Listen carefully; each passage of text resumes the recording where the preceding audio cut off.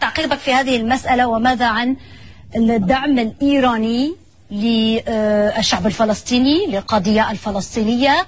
آه، وأنه السلطة هذا بسببها وكان خيارها. تفضل. يا عم الشعب الفلسطيني مش محتاج إيران. مش محتاج إيران تساعدنا وت... مش محتاج إيران وتساعدنا وتدعس على راسنا تحل عنا يا عمي. يا عم حل عنا خليكم في حالكم. بعدين إحنا الشعب الفلسطيني بنعرف إيش بدنا وإيش بدناش.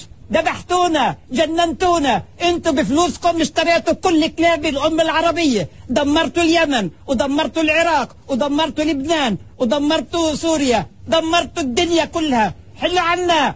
يا عمي إحنا كتر خيركم كتر خيركم. خلي مصاريكم إلكم. بدناش تساعدونا بدناش تتعاقبوا عشاننا. بنبوس إيدكم تحلوا عنا. حلوا عنا.